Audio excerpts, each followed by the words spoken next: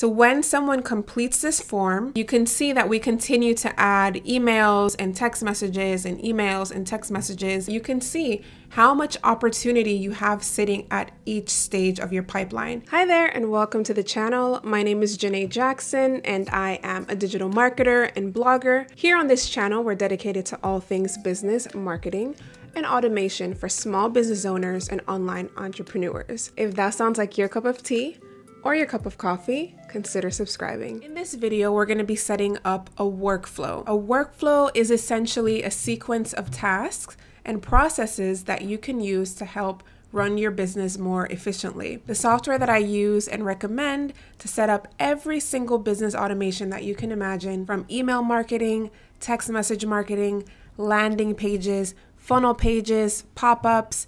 They even have a chat widget that you can install on your website is Go High Level, which I'll link in the description down below. Now, Go High Level is essentially designed for marketers and marketing agencies if you are a small business owner or an online entrepreneur. For example, a coach, a consultant, a freelancer, um, such as a photographer. I recommend checking out Authority HQ, which is a version of High Level that's specifically designed for small business owners and online entrepreneurs. I'll leave my referral link for both programs down in the description below, where you can try either or both of them 14 days absolutely free. All right, so here we are in the back end dashboard of a boudoir photographer where you can see I went over in another video, which I will link below, um, more in depth on the dashboard and some of the other features that Go High Level and Authority HQ offer. Um, but in this particular video, we're going to be going through the workflow builder. So here we are in the workflow builder, and you can see we have quite a few workflows set up for her. But we're going to go into one of her main workflows, which is when someone submits an inquiry form on her website. So here you can see what the workflow builder looks like inside of the software. You can select actions that are then going to trigger a sequence of events that you want to happen. And I just want to give you a brief run through of the triggers and the automations that we have set up in this particular workflow. So this is the workflow of a boudoir photographer. And here you can see we have a Go High Level or Authority HQ form actually installed on her website. So when someone completes this form with all the information that she needs, they're going to go ahead and hit get in touch. And it's going to take them to a thank you page that we've set up. And then they're going to come right over into here and let's see what's going to happen. So we can we have the trigger set up here, form submitted. If I click on that, you can see exactly what is going on here. You can either have a CRM form, which is a form that you would install on your website. If you have your own form builder, you can absolutely integrate either Go High Level or Authority HQ with your own particular form builder and have it funnel in. You may have to do this through a third party app like Zapier um, but it is something that you can do. You can also have Facebook lead forms automatically populate. So here you can see all of the different things that can actually be the trigger. Let's go through some of them. So runs on all appointment status updates. So for example, someone requests a consultation or a consultation is confirmed that would be an appointment status. When a particular tag has been added, you can have that trigger the automations in your workflow. If someone replies to an email, a form submitted, which is what we're doing now, if they are at a certain stage in your pipeline, which I'll go over in another video, if the opportunity becomes stale. So, for example, after 14 days in your pipeline, perhaps you would consider that person stale, you can really use any action that you or a potential lead would take as a trigger here in Go High Level. And then I have the form is, and I have of all of the forms that we have set up on her account, we make sure that it's the form on her actual website homepage, which is the inquiry contact form. Okay, when that happens, we want to make we after we set it up, you want to go ahead and make sure you hit save What do I then want to happen? When someone submits the form, we want a notification. So this is going to be an internal notification to everyone on the team that I designate. So I want the email to go to the head photographer, who's going to be the one to call them and follow up immediately. And then I have all of the information that I want to receive in that initial email. So I want the contact's name, their email address, their phone number, and the desired date of their their um, photo shoot. This is going to come in via email. You can also set this up to come in via text message on your phone. So if you want to, every time someone sends a submits an inquiry form on your website, you can receive an email, you can receive a text message. You can really choose how you want to receive that notification. We have it set up here for an email with all the information that we need, and we're going to go ahead and save that action. All right, next we want to create an opportunity. Now, let me go over to her pipeline and I can show you exactly what an opportunity is. All right, here from the home page, we can see her opportunities here. And essentially, opportunities is another name for a pipeline. It's a visual kind of pipeline that you can move someone along their individual cards to any point in the pipeline or in the funnel that they belong. You can also set for these individual cards to be moved automatically to the appropriate stage based on the actions that they take that they take. For example, when someone submits a form on the website, they're going to be created a new lead right here in the new leads column. That's going to automatically populate with all of the information that we've set up. Okay? When someone responds to any text message or email that we send out in response to their inquiry form submission, they're automatically going to be moved to the hot leads column. That way, we know when we come into opportunities and we glance at this pipeline, we know that this person, for example, is someone who's actively engaging in the emails or in the text messages. So we know that this is a hot lead. All right, so let's go back to the workflows. All right, so after we receive that initial notification, hey, you have a new form submission, we're gonna have an opportunity automatically created. All right, and we can choose which pipeline if you have multiple pipelines. You can choose which stage they're automatically to be created within. And what I like to do for my clients is add a lead value. You come over here in the pipeline, you can see it's automatically populated with that average cost. That way, from both your pipeline, you can see, you know, how much money. Of course, these are people. It's they're not just dollar signs, but you can see how much opportunity you have sitting at each stage of your pipeline.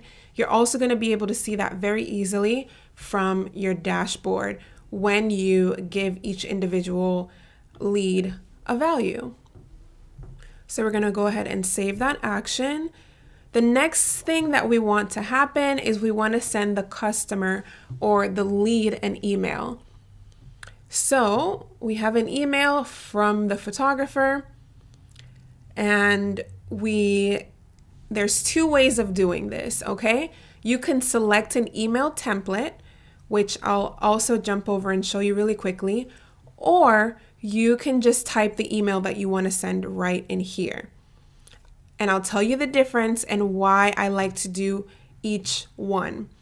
So, when you type an email directly in here, that's going to go out to the customer or the lead, the potential customer this email is going to look exactly like you sent this email personally from your Gmail account. It's not going to have an unsubscribe link down at the bottom.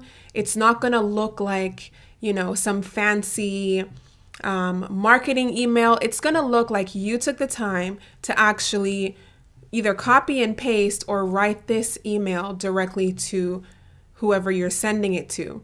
That's really, really very powerful. I have never used any other email marketing software that I was able to send regular looking emails without that unsubscribe link, without any of that, to just look like a simple, real email, but still be automated. Or you could send an email template. Now, the email template is going to look like a marketing email, and I'll show you what that looks like. I think both a real email and a marketing email both have their place depending on where someone is in the funnel and depending on exactly what it is that you're trying to do. So let's go to this email, for example, this email template. And you can see here that we created this email with a drag and drop builder. So we just, we can drag and drop pictures. And this, as you can see, obviously looks like a marketing email something that you would create in ActiveCampaign or in MailChimp. And it's also going to have the option for them to unsubscribe or opt out of your email list down at the bottom. So let's go ahead and head back to the workflow here. All right, so at this particular point, um, we want to send a regular email, so we have it typed up right there. And of course, it's gonna automatically populate the name in both the, the body of the email and in the subject line. That's going to get them to click through at a higher rate and open your email. Next, we have an action to wait two minutes. Okay. You can set this for two hours. You can send it for set it for two days. You can customize again the days or the time window that you want this particular wait to be. Um, or you can do it for the overall campaign here in the settings, which we've already done. But it's really, really cool that you have the option to customize it even further if you want to.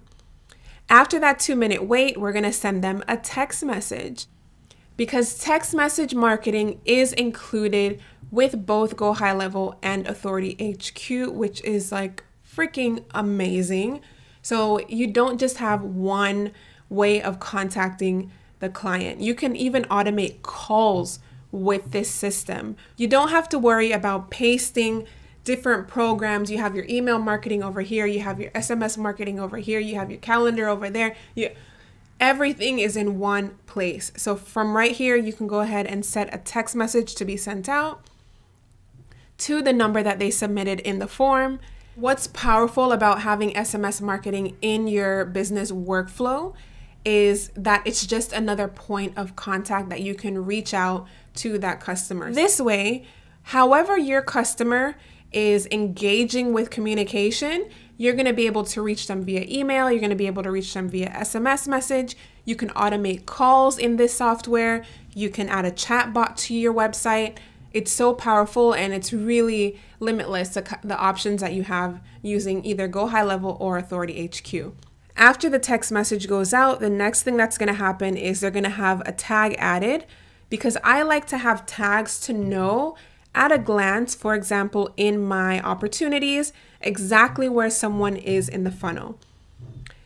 So if I click here, you can see that enter, welcome, nurture, because that's the next step that I want this particular lead to go to.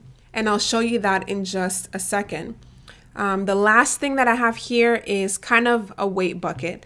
Now, this is something that I personally like to do just because I like to be able to come into the workflows.